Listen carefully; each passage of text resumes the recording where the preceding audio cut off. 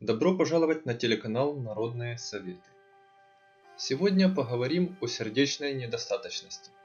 Под термином сердечная недостаточность понимается нарушение насосной функции сердца, которое может протекать как в острой, так и в хронической форме. В результате этого происходит нарушение нормального кровоснабжения органов и тканей организма.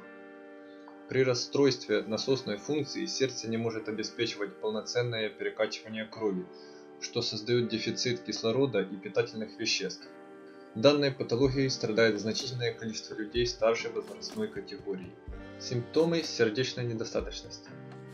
Отдышка, посинение кожных покровов, головокружение и потемнение в глазах, отеки нижних конечностей, приступообразный кашель, быстрая утомляемость и слабость.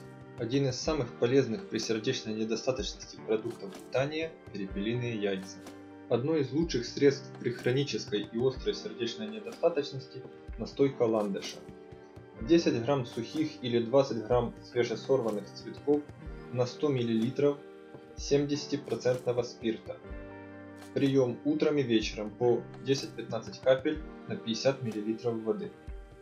Также возьмите на заметку два рецепта настоек бодрости, способных в короткие сроки улучшить работу сердца и общее самочувствие.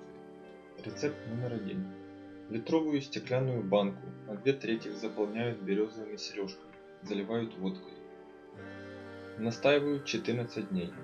Процеживать не обязательно. Прием по 20 капель на 1 столовую ложку воды через 2 часа после еды 3 раза в день. Рецепт номер 2. Литровую банку наполнить почти доверху свежей измельченной смесью люцерны и травы мокрицы. Залить водкой, настоять 10 дней и пить по одной чайной ложке 3 раза в день.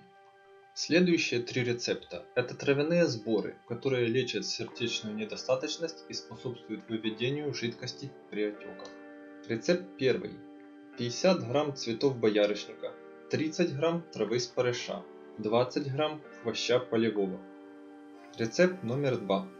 60 грамм пустырника, 40 грамм боярышника, по 30 грамм шишек хмеля и травы шандра. Рецепт третий. 50 грамм тысячелистника, 40 грамм зверобоя, 10 грамм цветков арники. И наконец рецепт лечебного кваса для гипертоников и сердечников. На 5 литров воды добавляют полкилограмма свежих размятых ягод ирги. Доводят до кипения, охлаждают, фильтруют. Добавляют стакан меда и 15-20 грамм дрожжей. Ставят в тепло на 15-20 минут, затем разливают по бутылкам и банкам и хранят в прохладном месте. Пьют по 70-100 мл 3 раза в день. Если это видео было полезно для вас, пожалуйста поставьте лайк и подписывайтесь на канал. До скорых встреч!